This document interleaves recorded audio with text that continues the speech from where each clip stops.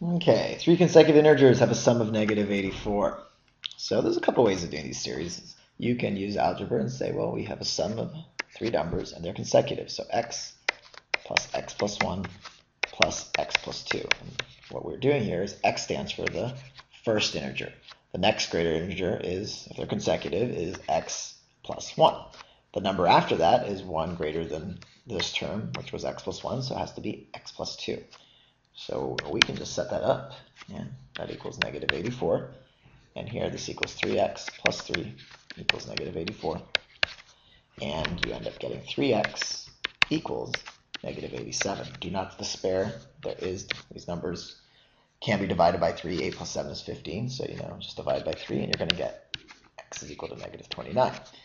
Now, here's the tricky part.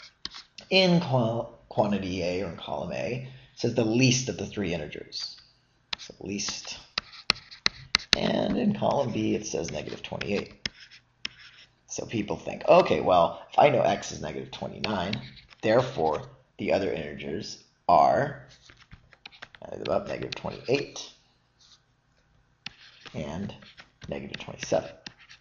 So clearly, this is the least one, right? But wait a second, it's not because in the negative world, the more neg the greater the number is, the less it is. That is negative 29 is less than negative 27.